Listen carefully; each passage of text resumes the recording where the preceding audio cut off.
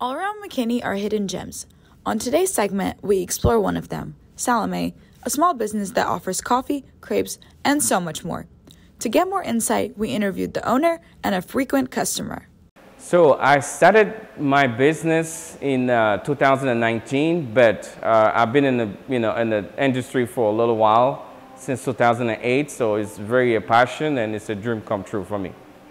The name, uh, actually, our business is uh, Crepes on the Go, but Salome is my wife's name.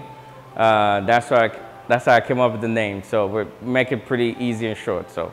Why people should come to Salomay? That's a great question. Uh, I believe, first of all, uh, customer service. We want to make sure we take care of those people that comes in. Um, and second of all, uh, our product, we want to make sure, you know, you get good product, good food. We have different stuff for different people. You know, you have sweet, savory, breakfast. So just come by and try it. I discovered Salomay in Apple Maps. I was just trying to find a nearby cafe just so I can walk and get like a coffee and eat some crepes and I saw Salomay four minutes away from me and now it's my favorite place. I love the, the design over here. The entire design is awesome. Uh, I like the aesthetics. I like the customer service. I would definitely recommend crepes. They're really good over here. I would really recommend iced latte and a strawberry matcha.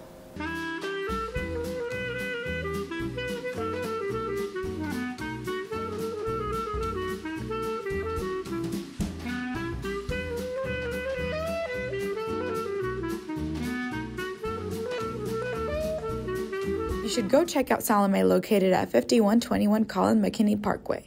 They are open 6:30 a.m. to 7 p.m. on Monday through Thursday, 6:30 a.m. to 8 p.m. Friday through Saturday, and 7 a.m. to 6 p.m. on Sundays.